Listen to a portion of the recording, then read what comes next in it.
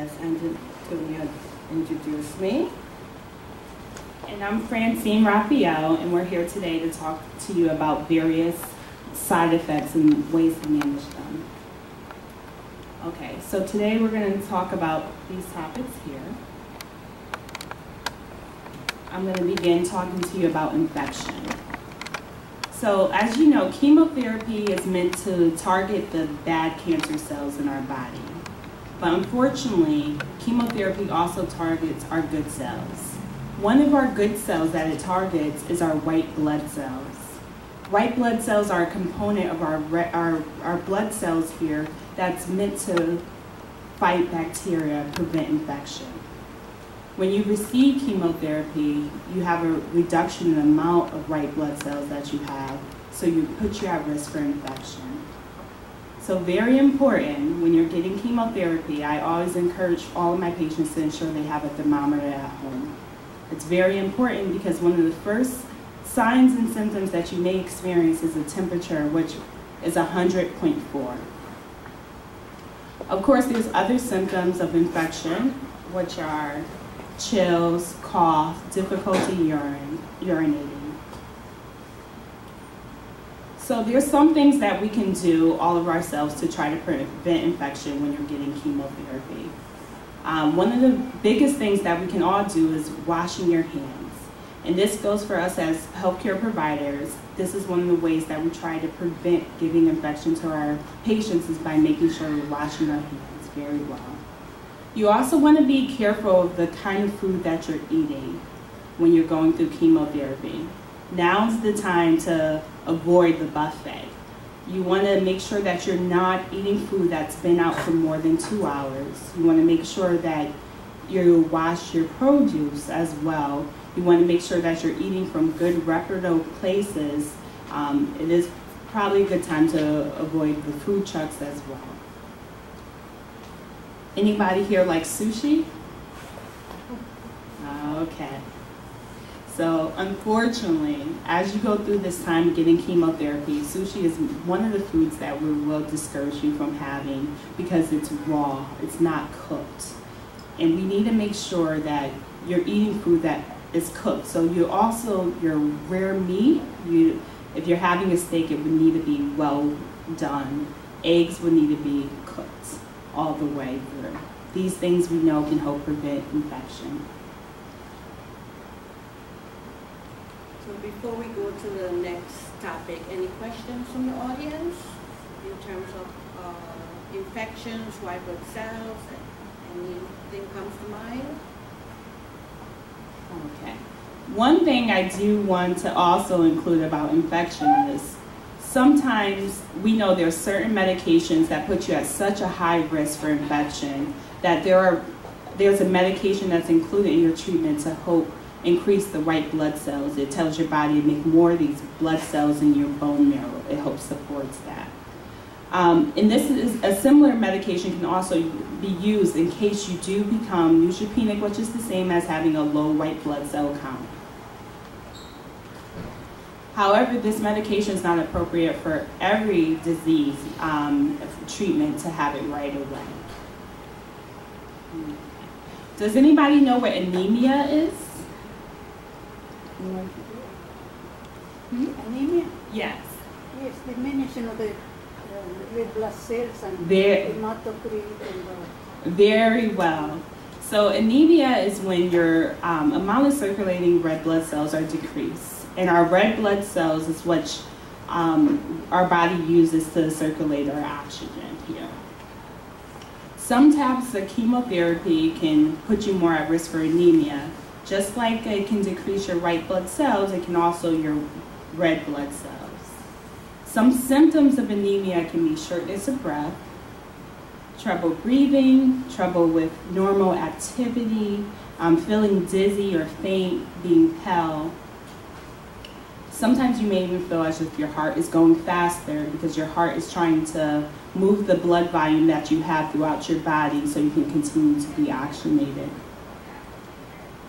Typically, if you are become anemia, anemic, what we would do is do lab work, um, and often the treatment can be a transfusion. So if you do feel these symptoms, you want to first talk to your doctor about that. Typically, we do redraw our patient's blood and check them for anemia, but you can experience it at any time. It's important to try to save your energy as well. So now's the time, it's perfectly okay to ask for help. Get your friends and family involved during this time because everyone, when you're going through this process, wants to know how they can help you. So you can tell them concretely, you can help me go grocery shopping or clean up. Save your energy, delegate, ask people to do things for you. It's also important to eat high protein foods and to eat foods with iron to support your blood. Right. This leads us into our next symptom, which is fatigue. So many things can cause us to be fatigued. Um, we just talked about anemia. You can be you feeling tired because of that. But as you're going through chemotherapy, at times you may experience pain or depression, which can also have an impact on your energy level. There's also different medications and, you know, not sleeping so well or insomnia that can make you more prone to being fatigued. One thing that we know that can help with fatigue is exercise. And when I say exercise, I don't mean running a 15 mile uh, marathon as you're going through this process. We're talking about a 15 to 30 minute light exercise every single day you want to do. You want to rest when you're tired. Again, ask other people for help. And you want to limit your naps to about one hour. This isn't the time that you want to rest and just stay in bed because we know that would make fatigue worse. Are there any questions? Yes. I guess if you have emphysema, that is taken into consideration when you have chemo? Yes, yes, it is. Um, so it is still encouraged that you exercise, but at the level that you're able to tolerate. We don't want you to do more than that and to rest when you're tired as well. Sometimes just a, a walk around the block will do it for you. You know, just get the red cells moving, give you a little, it actually makes you feel better rather than staying put. Thank you. Mhm. Okay. So we're going to talk about nausea and vomiting now. Nausea and vomiting tends to be the one side effect that most of us worry about when we know someone who's going to go through chemotherapy or been through chemotherapy. Nausea is the feeling when you feel sick to your stomach and you feel like you're to throw up. Vomiting is the actual act. However, I'm happy to report that now we have many ways to prevent nausea. We have developed great regimens to prevent nausea. Many times you're prescribed multiple agents to prevent nausea before you receive your chemotherapy. But there's things that we can do without medication as well. You want to avoid certain foods that may trigger your nausea. This may be spicy, fried, greasy foods. It's very important to eat small, frequent meals. Again, I said before, now's not the time to go to the buffet. Now's the time to have smaller, high calorie meals um, throughout the day. And when I say how many, about five to six meals throughout the day. It's important that when you're drinking that you do not gulp your beverages, but just take sips because that can kind of put you more at risk of becoming nauseous. And this is a tip of my own to share with you. You do not want to eat your favorite foods when you are nauseous because if you get sick from them, most likely they will no longer be your favorite food. Um, here's just a couple of images that we put together here of some ideas of what you can have and drink if you're feeling nauseous or if you experience vomiting. Um, bland foods, um, crackers, rice. Um, you can drink things such as, um, you don't just have to drink water, you can drink broth. You can drink Pedialyte. You can have a popsicle. These things would help manage the nausea.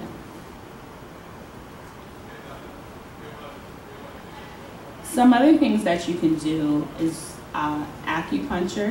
You can try that. Um, meditation are things that you can do without medication. Also about nausea, it's very important that you take your antiemetic or medication to prevent nausea um, as directed from your physician and your team. The one side effect about medication for nausea, the biggest, is constipation. And constipation is when you're experiencing a reduction in your bowel movements, or it's harder for you to pass. We do not want you to become constipated while you're getting chemotherapy. So we have many ways to try to prevent this side effect from occurring. One thing that you can do before medication is you want to start off eating high fiber foods, drinking lots of fluid. And what I mean by lots of fluid is typically two liters a day. You want to be active. You want to exercise. Again, that 15 to 30 minutes, even if it's just a walk. And you want to communicate with your team if you haven't been able to pass the bowel movement in two days but for some of us, two days is our normal. But for many of us, it's not. So when you're having a change in your ability to have a bowel movement, you want to let your team know. Many times we put medication, a plan in place for you as you're experiencing um, constipation. If you have a history of constipation, this is something that you would want to let your physician know as you're starting off this journey.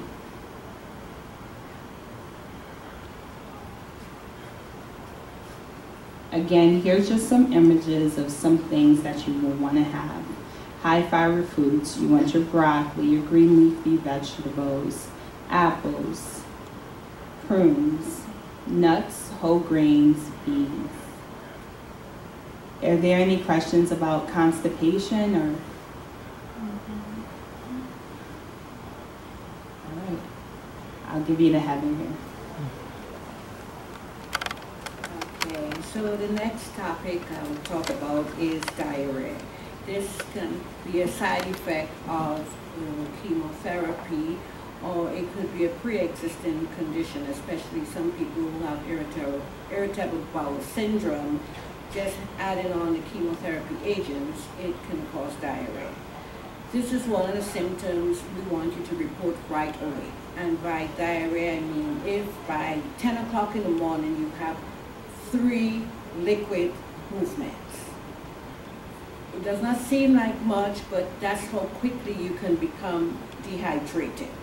And that's one of the things that would you would end up in a hospital. Our goal when we give our patients chemotherapy is for you to never see emergency room. I always tell my patients, you're not sick, you're getting chemotherapy. So on that note, if you have diarrhea, just like when you were a child and you were sick with the flu, we do the brat diet. Banana, rice, applesauce, toast, and tea. You want to use, uh, have bland foods, and you, very important, you need to inform your physician, nurse practitioner, or nurse navigator. If it's, it is that you are having significant amount of diarrhea, they will have you come into the clinic and we will give you hydration and that will help you.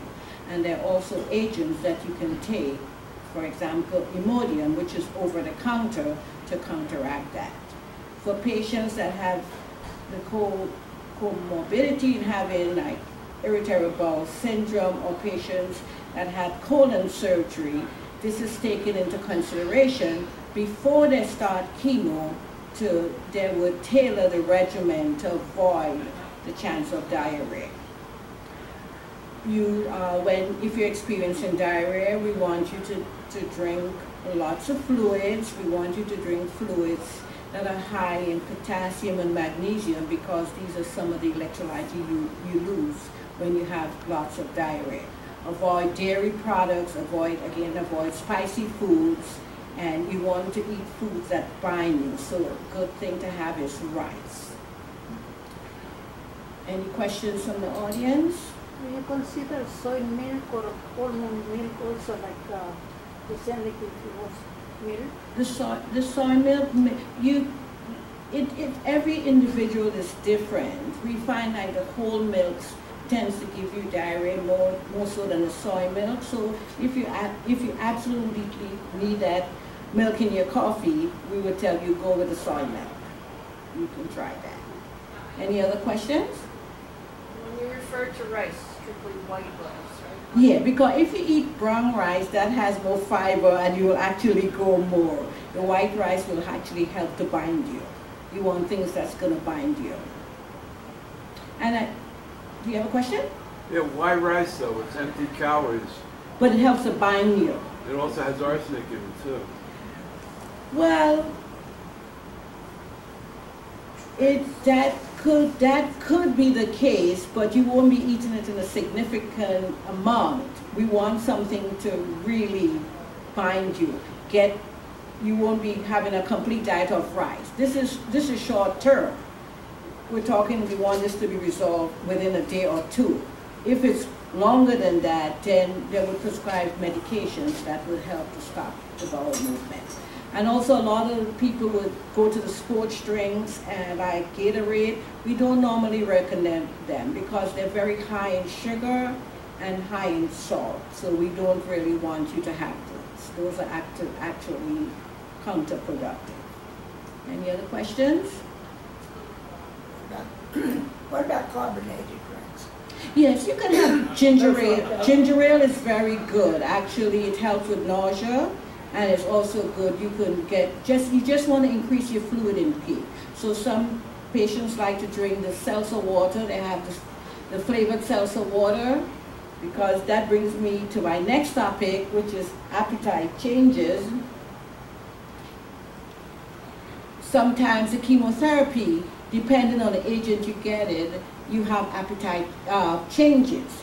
Your taste buds are not quite the same. So rather than drinking plain water, some patients find if they drink carbonated water with a little zing, it is much easier to tolerate than just the plain water. Some patients, depending on the medication they're getting, will say that the water has a metallic taste.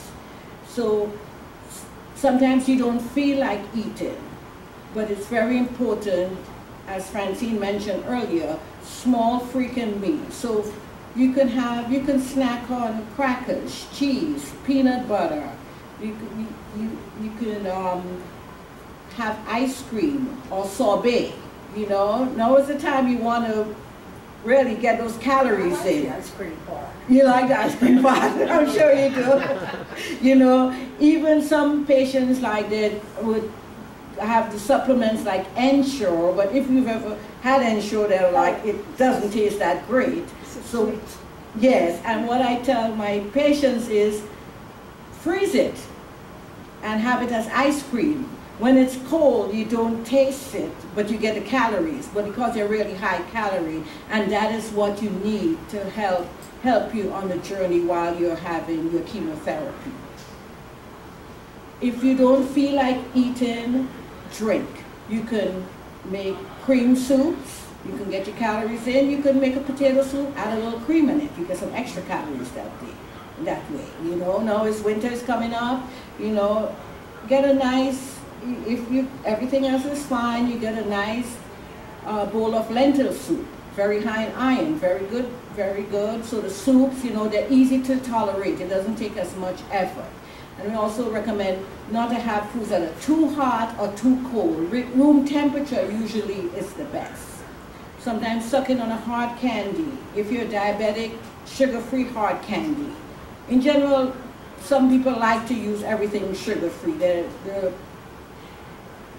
some people think um, that having a lot of sugary items is counterproductive, but it's based on your diagnosis just to keep your mouth moist because if your mouth gets dry you really don't feel like eating or drinking so you, you can make smoothies you can put you can juice a lot of patients juice at that time you just want to make sure you're getting your calories and you don't get dehydrated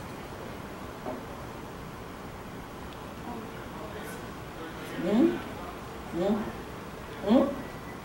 Do you recommend those um, protein in powders that they sell in the healthy store? to What is that? More protein to the diet The, without it, uh, you know, having to, to drink sugar that is uh, so sweet. Protein yeah, you could powder. you could make your own shakes. I usually tell my patients like leafy green vegetables are very high in iron. So you put your broccoli, your kale, you put an apple to get a good some flavor. You add a little orange juice for a little flavor. If you prone to diarrhea and the milk, don't you don't add milk to it, you know? You could even some people just put some sorbet instead. And you know, make it so that it's something you want to drink. You know, it's not like medicine you have to force it down because it, you are correct. Ensure is very sweet. It would help if you repeat the question that's been asked. Okay, she asked if um, rather than making um, drinking the Ensure, if you can make your own drinks because Ensure is so sweet. Thank you. Yeah. Okay. Do you have any any other suggestions or questions?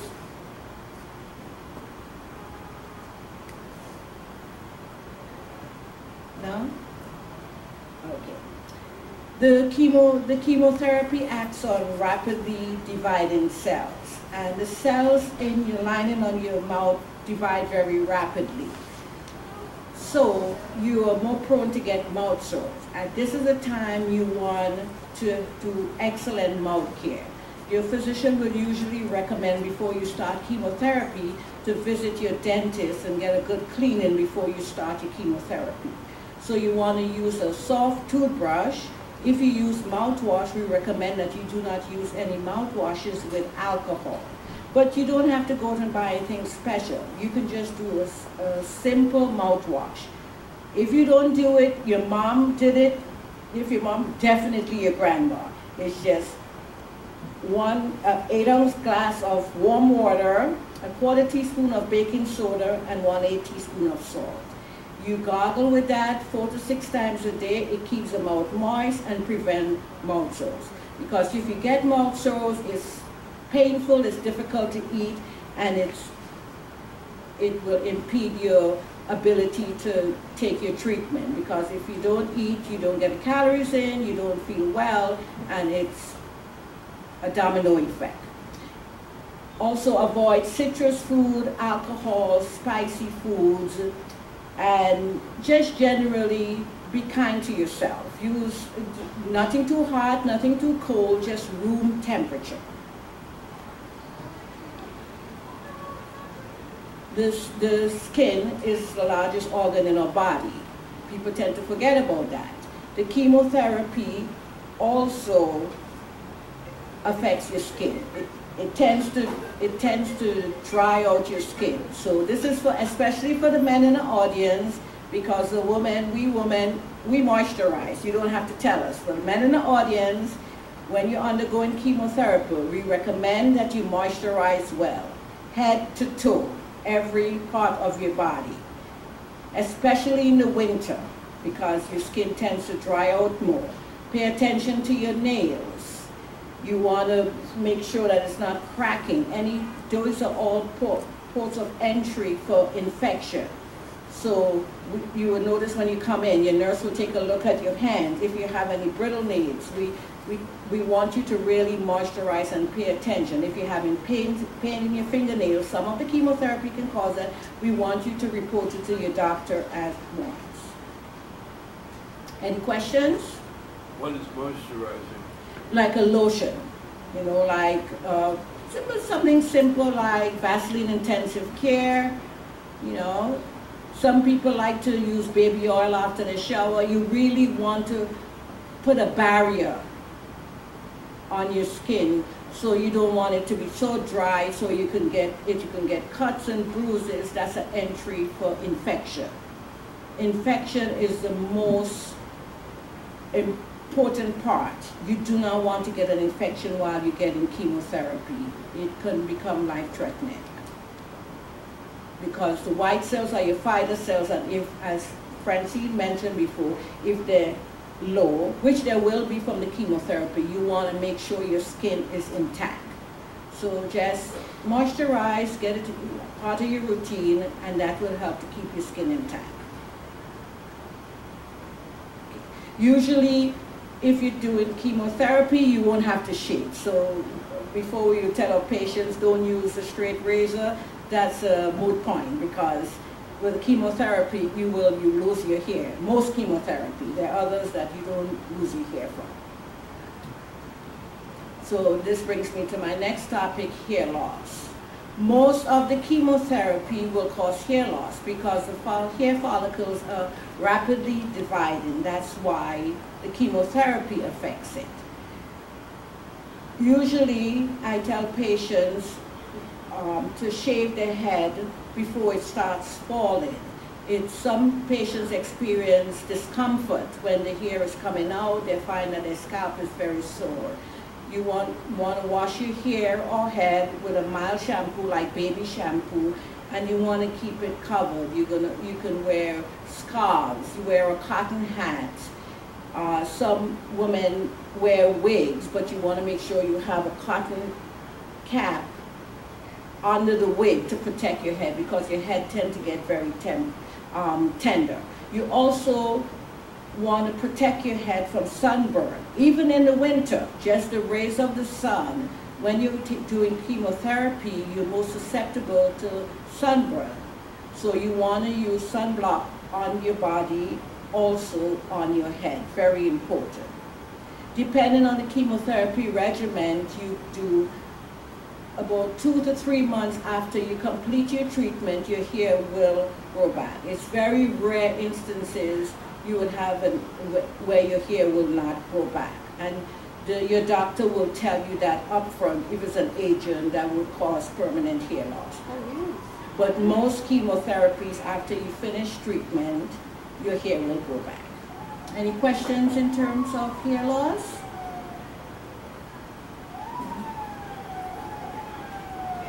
Do you have a printout of of this information? Sure, sure. good, so you have something you can take home? Yes, I can get you some. Yeah, oh no, we don't expect you to, but we have printers I can get for you, okay. Now, when you, when you're undergoing chemotherapy, we want you to live a normal life as possible. And that being said, sexuality is a very important part of that. Because you're having chemotherapy does not mean that you cannot be intimate with your partner. It's, you need to feel as normal as possible. You need to assure your partner that he or she is not going to hurt you. The most important thing is that you use the barrier method when you're having intercourse. It doesn't matter if that you're postmenopausal, you don't, the, the idea is that you excrete the chemotherapy in your bodily fluids, so you don't want to, to expose your partner to that. So this, this could be a difficult topic if you're past childbearing age and you tell your husband, well, honey, we have to use a condom, and he's going to be, why? And I have to have the conversation and say, because we want to protect you. But we want you to continue doing everything that you normally do to feel as normal as possible. Another thing with women undergoing chemotherapy, especially the, the cancers that are fed by estrogen and progesterone, they have vaginal dryness. So you need to have that kind. Sometimes it's uncomfortable to talk to your doctors. You need to have that conversation with your doctor to prescribe something because women will shy away from being intimate with their partner because it hurts but we want you to feel as normal as possible. Is you know, you get a diagnosis of cancer and then you take away everything. That's not the way we want it to be. But it's very important when you speak, you speak to your doctor and just don't buy something over the counter because especially in the tumors that are fed by estrogen and progesterone, you don't want to use lubricants that have estrogen in it because it will be counterproductive. We're giving you chemotherapy, for example, in breast cancer, if it's estrogen, the tumor is estrogen positive, we're giving you chemotherapy to block that, but then if you're using a lubricant, you can absorb some of that estrogen. So it's very important you have that conversation with your physician. Keep in mind, for the men also, you, you, if you're undergoing chemotherapy, you're gonna use a, a, a barrier method. You're gonna move, use a condom when you're having intercourse to protect your partner. For number one, prevent pregnancy and most important, to prevent exchanging the fluids with your partner. Men, especially for the, for the cancers that uh, affect the urinary tract and the sex organs, some of the chemotherapies can affect that. It's very important that you talk to your doctor. For example, we've come a far way with the prostate surgeries now that they can do nerve sparing. So in the past, men had a prostatectomy, that's removal of the prostate. It was a given they wouldn't be able to have an erection. Now they can do surgery where they, they do nerve sparing and you can function as you did before. So we've come a long way, but you have to be very upfront. It is your body. You want to maintain it in as original form as possible. That is the only body you have. So talk to your doctor. Don't be shy. Talk to your doctor. You, you're not going to be asking them anything they've never heard before. Remember, chemotherapy affects everyone differently. These side effects, some people don't get it. Some people go through chemotherapy and they say to me, are you sure I'm getting chemo? I'm not nauseous, I'm not tired. It's based on the individual per person. These are general side effects and you need to remember you're an individual with individual side effect. So two people, same age, same disease, same regimen, will have totally different side effects. You have to know your body and not be shy. Report all symptoms to your doctor, your whole healthcare team. We're here to help you and don't be shy. Ask questions, bother us. We like you to bother us. Okay? Mm-hmm. Any questions?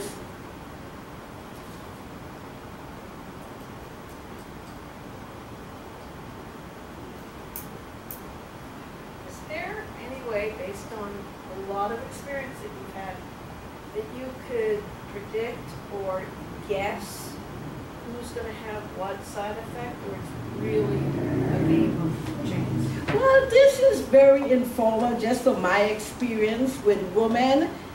If they have children, it's just a question I ask. How was your pregnancy?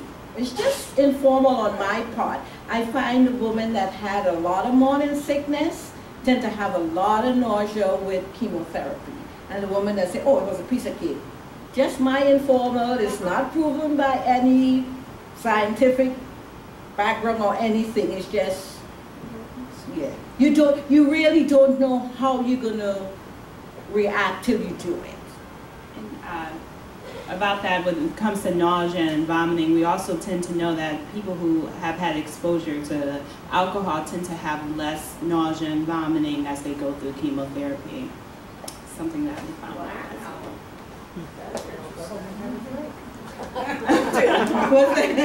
No, that's not a, that's not an invitation to go to drink. Yeah, but there, um, Does age have anything to do with your reactions?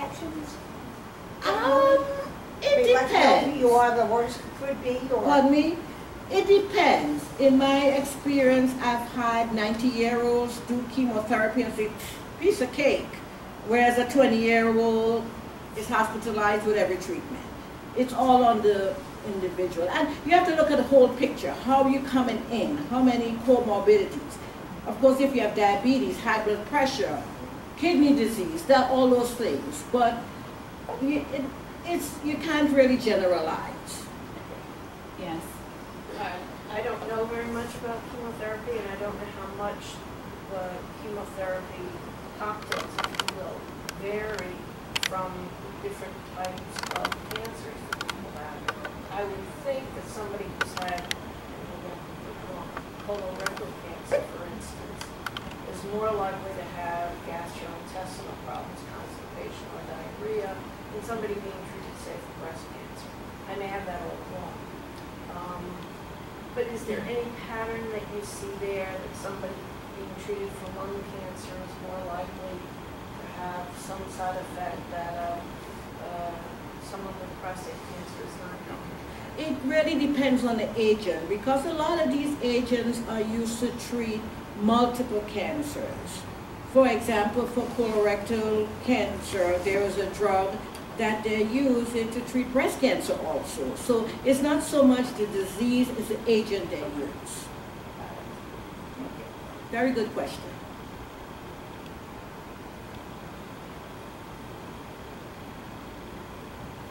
Any other questions?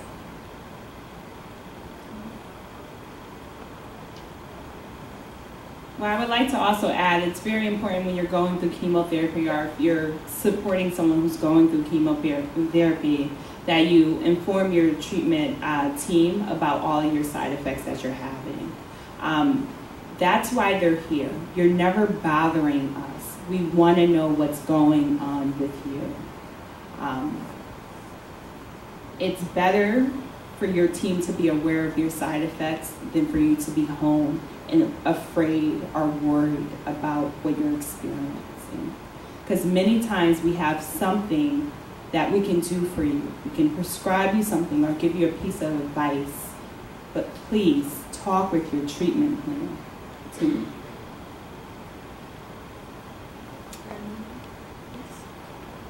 I've got prostate cancer. I go to a prostate club here at the hospital once a month.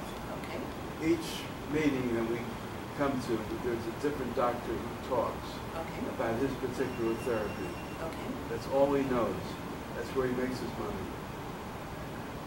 Over the year or two, there's been so many doctors, each one says his cure is the best. Mm-hmm. How do we get, how do we find out which is the best? A chemotherapy, Which chemotherapy works for you? Just like there's all the different kinds of breast cancer, the different kinds of prostate cancer. It depends what stage you're at, what you respond to. If you had surgery or if you didn't have surgery. There's a lot of factors that take into consideration. Some people may have prostate cancer and take a pill, whereas some people may just have radiation, whereas it, it is all done on individual basis. yeah, of course, but I've had no treatment at all. Mhm. But I want to find the best treatment. I want to find the magic pill. Yeah. How do I get somebody who can oversee all the different treatments and say, this is the best? Chemotherapy destroys a lot of tissue and so Yes, forth. that is true. So, it's, you know, What, what we have at the hospital, what we have what is called tumor boards. They would discuss all the different treatments available and any new, anything that go to conferences, anything new, that will bring back to the practice. So right now, you've never had chemotherapy, is that correct? I haven't had anything. And, and you just, you had surgery. I don't want to get I haven't had anything. You haven't had anything, the doctor just want to wait and see, are you newly diagnosed? I don't want to get into specifics. We I can talk- haven't had anything, but I want to find out what the best treatment is. Okay, Each doctor, whatever his treatment is, that's what he swears by, because that's where he makes his money. okay. You have to meet with an oncologist, you have to meet with someone that you have a connection with, a trust. This is, this is gonna be the doctor for the rest of your life. That's the first thing I always tell my patient is trust. You put yourself in his hands, and between the two of you, you come up with a treatment plan. You, even though you're diagnosed with cancer, you still run the show. It's your body. So the doctors will give you several options, weigh the pros and the cons, but you have to have a mutual trust and respect. That's the most important thing. Yeah, but I, I want to find an oncologist who knows all the different treatments, who can tell me what is the best. I've spoken to some doctors, and I, I talked about the proton, that said, well, I don't know anything about it. Because But some, you do, do something, you know. right, because they're all different specialties. Yes. And depending on the stage of your cancer, the treatment is appropriate. And a lot of them are inappropriate, they destroy, one step forward, two steps backwards. Mm-hmm. But whatever they're pushing, whatever their treatment is, that's all they believe in, and that's where they make their money. So this is the way, that is why you have to go with someone, you develop a trust and respect, and you tell them up front what you need. You have to build a relationship. Yeah, but how can I trust blindly? What You- is the best hospital? Is it I can give, I can give you information on that. The National Cancer Institute prescribed a plan for the different kinds of cancer. Every hospital you go to will prescribe that plan based on the NCI, National Cancer Institute recommendation. So you can go to your little community hospital, or you can go to NYP or Sloan Kettering, and you will get that same treatment. It's where you feel comfortable. We're not here to advocate one hospital. You will get the same treatment if you went to a different state. It's your gut feeling, who you feel comfortable with, at what's comfortable Yeah, but we're laymen, we know nothing about the medical procedures. We need somebody who can tell us which is the best. Do you have family members that can help you? No. No, so you by yourself? I'm by myself. Yeah, so yeah, that's in times like that, you, sometimes, you said you go to a prostate group. Yes. Do you, have you made friends in that group? Yeah, but each one has different treatments. Right, And they're all laymen like myself. right. And we know nothing about the game. Well, I have the perfect solution for you. This is a medical library. Antonio is one of our medical librarians. You can come here and you can sit down and you can research all the different options. He can help you with that. This is, this library is here for patients. You can come in and you can read through and then go to your doctor and say, what do you think of this? Because medicine has changed. It's no longer the doctor telling you to do this and this is the only way. You're a partner in your treatment. You're a layperson, but it's your body. Yeah, but it's finding a doctor you can trust. I mean, doctors out of four years of schooling only get 15 hours on nutrition. Whenever I talk to a doctor about nutrition, not only does he not know what I'm talking about, but he has the arrogance to get angry to feel threatened somehow. So that's the wrong doctor for. Yeah. Obviously, sure. Yeah, and when you, I want to find the right doctor, but And I, no, I mean to cut you off. When, when you come in for treatment, you have a treatment team. You have your doctor, you have your nurse practitioner or physician assistant, you have a nurse navigator, you have a social worker, you have a dietitian. Everybody who's an expert in their field. The doctor may be an expert in prostate cancer, but he's not an expert in nutrition. That's where the dietitian is, is a team approach. So you have it's like you buying a car or something. You have to check out what fits you. It's not a cookie cutter treatment. You have to go with what you feel comfortable with. It's a very difficult decision. I'm not saying it's easy. So you have to, you know, you have, sometimes you have to go have one, two, three opinions. And you have to be heard. You know, you have, what's most important for a patient, you have to feel that your doctor is hearing you. Do you, do you agree? But how do I find the right doctor? You can start off with your insurance company, have them recommend someone, you go meet with that doctor, hear what he has to say. Uh, Someone diagnose you, one of your doctors diagnose you with prostate cancer. Yes? I need an oncologist who can oversee the, the whole field of all the different treatments. I don't have that much time left. I can't afford to make a mistake. I'm 79. I'm in the geezer class now. I've got maybe 10 years left. So I've got to find the right doctor. There's a lot of bad doctors out there. So you do need to start somewhere, is what she's saying. Start with your insurance company, talk to a doctor, make an appointment, make several appointments, ask your doc, those doctors these questions. That's the best way. You're going to be the best judge for who's right for you. And you can approach these doctors and ask them, this, these are the treatment options I've heard of. What do you think? How do you feel about X, Y, and Z? And you have to feel that out and you have to make that decision for yourself. That's what she's telling you. So you do need to start somewhere. Your insurance company is a great place. Mm-hmm. See what's in your network, what's your what's covered. Make those appointments. Start somewhere. Okay? Any other questions? Yes. I donate blood, and the blood center is very interested in my platelets. And from what I've read, platelets are used a lot by cancer patients. Yes. Can you explain, you mentioned transfusions, can you? I talk a little mentioned I mentioned that? when we were talking about the red blood cells and anemia, but there's also another um, part of our blood cells that I didn't speak about. Not every um, therapy would cause this, but we can lower how many platelets we have. Um, platelets are are part of our which makes us clot. If you don't have enough platelets, you can bleed. Some therapies and um, really in different regimens depending on your disease. A lot of times when we're talking about blood cancers, makes you more at risk to becoming um, thrombocythemia or low platelet level, which puts you at risk for um, bleeding. And so that's why the blood center asks you to please donate. Yes, we love, we love you. They often can require lots and lots of platelet transfusion. But this is not something that's common in every single treatment plan and every single disease. We see it a lot more when it comes to our, um, our blood cancers and certain drugs. And this is something that your treatment team will inform you of if, if you're being prescribed a drug, a medication that we know um, can lower the platelets. Some of the things, since we're talking about low platelets, that I um, really like to talk about is um, that didn't come up here as falls. Um, we talked a lot about infection, but falls is a very dangerous thing.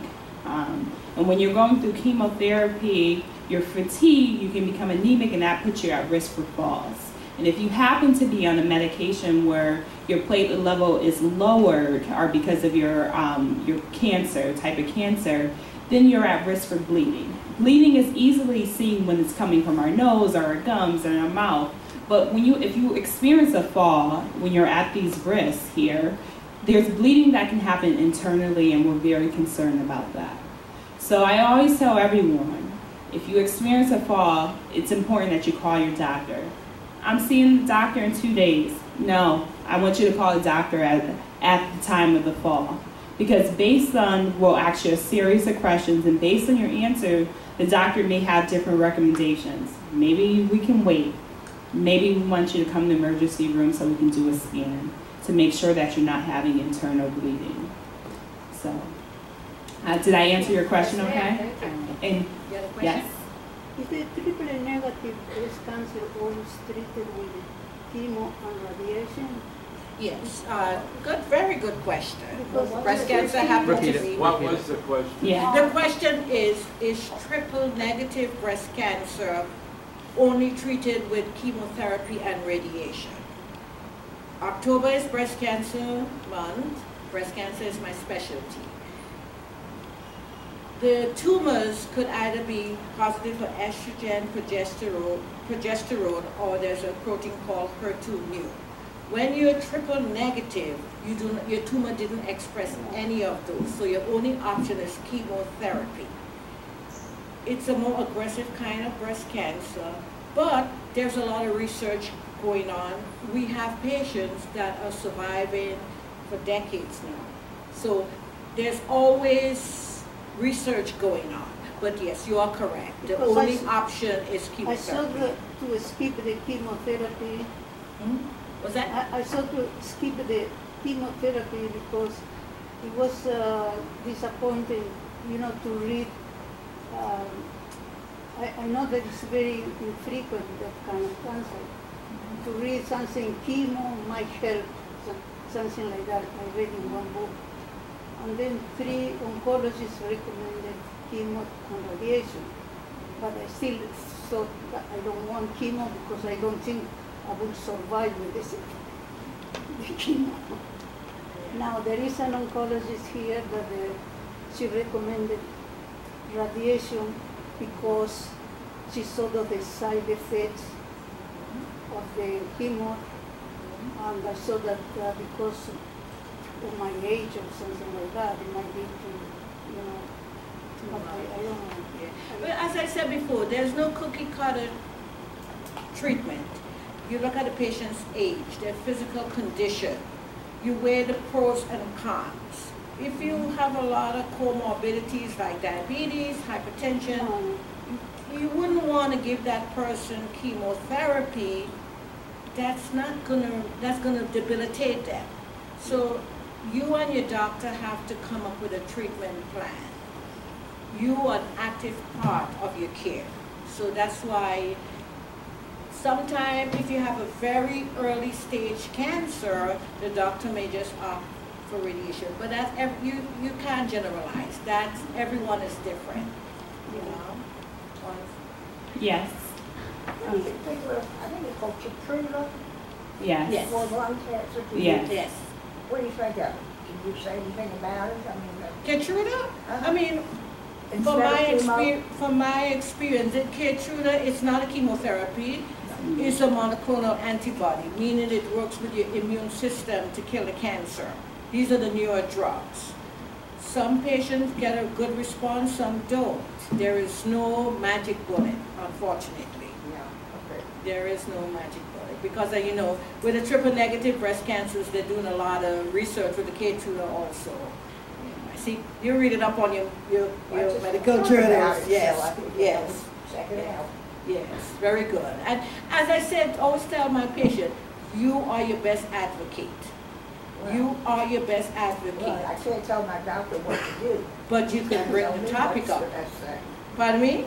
I said, I can't tell him what to do. He's got, she has to tell me what they recommend. But you can be partners in your care. That's And that you have a better outcome when you're partners in your care. But very, very good question. Yes. How common is neuropathy, which you didn't mention? Know somebody who was being treated for multiple myeloma, and Mm-hmm. he said sometimes the neuropathy was so bad he wanted to cut his hands off. Yes, that's from the chemotherapy he's getting. It depends on the agent. It depends on the agent, and that's one neuropathy. Quite a few chemotherapies can cause that. And if the person has a comorbidity, example, diabetes, they're more prone to, or they have peripheral vas- vascular disease, the circulation is not good. If there's no comorbidity and um, the person successfully concludes the course of treatment, does the neuropathy fade or that's a permanent body change? Some people get some improvement and some people don't. Yeah, Also- unfortunately. It also de- depends on the degree that you experience. And while you're getting these agents, it's something that your nurse and your physician would assess with you constantly to see if you're experiencing it.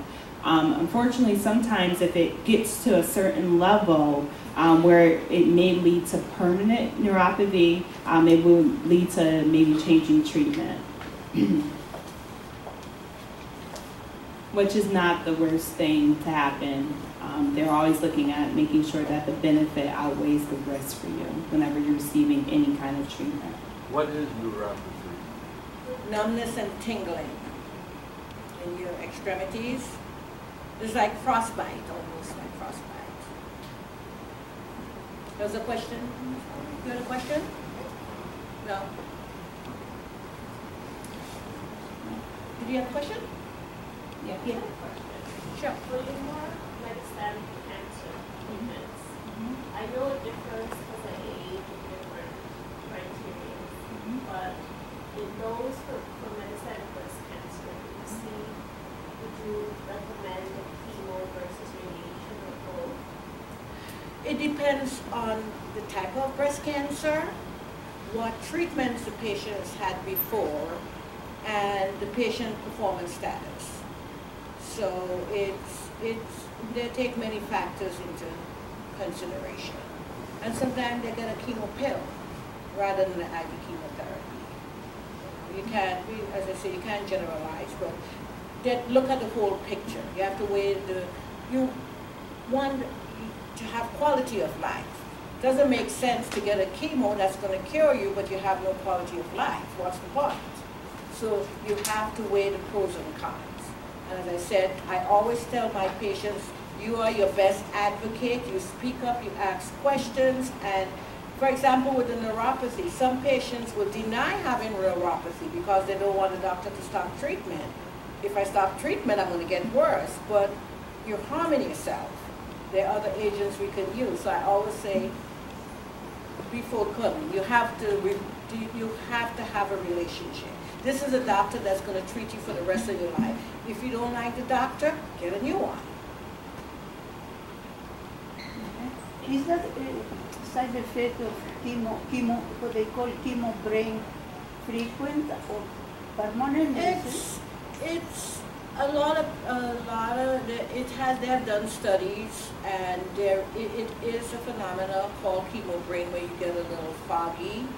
And I can't quote exactly what percentage of patients get it, but we know now how to help them, you know, using cognitive therapy, you know, you do like the crossword puzzle, you do even like something simple like using the adult coloring books, you can increase your concentration, little things. So, uh, um, PT and occupational therapy departments are very involved with that. Because before in the past, I've been doing this almost 30 years, they would say, oh, that's nothing. But it is, it is, some people do experience this. And also